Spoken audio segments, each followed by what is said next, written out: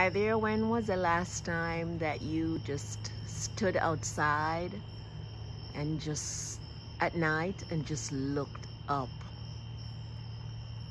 at God's amazing creation and just connect to the sky and the moon and the stars? Well, this is one of those nights for me. It's a beautiful still, fresh June 10th night, and the moon is just talking to me.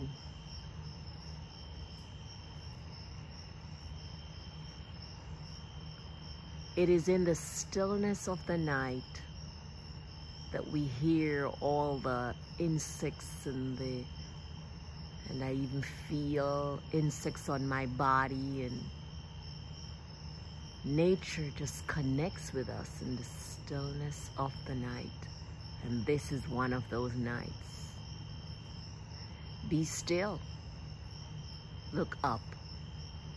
Look around. And listen.